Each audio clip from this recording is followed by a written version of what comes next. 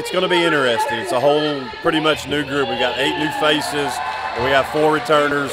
We're excited about our team, but there's a lot of unanswered questions with them. So we've been practicing very hard. Uh, we haven't played against any other competition, so it's kind of hard to make sure what we're going to look like. But very excited about this group.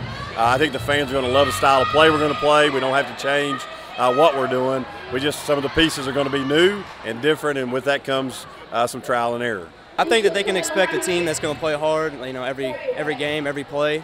I think that uh, we have a group that's going to push each other and that want to play together. We're not going to have you know guys that you know like want to be the me factor instead of you know like you said. But you know that's what coaches are pushing us for, and uh, I think it's just going to be a team that's just going to play hard and play together. It's going to be fun to watch. Uh, the biggest adjustment is probably uh, the physicality and getting to know everybody. Everybody was new, but the first two or three weeks or so, that that's what that really was about. Getting to know everybody, see how everybody played.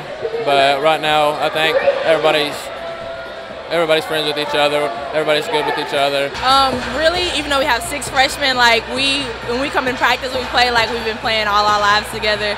So um, really, our chemistry is really good. It's heightened. They know what we expect of them, and they expect some things for us, and we're trying to mix it in together. So basically, we're one big family, and we're just getting to know each other. But it's going to be better when the season starts. I think these last few years have been great experience for us. You know, we started out being, you know, no experience hardly whatsoever, and bringing it up to, you know, we only had one senior last year, so now we have a lot of junior, senior dominant you know, players and with our young ones that are great players. And we're going to be a super deep team this year. I think everybody's going to get a play, and I think that's always good because people can come off the bench and give great minutes and give great production to us.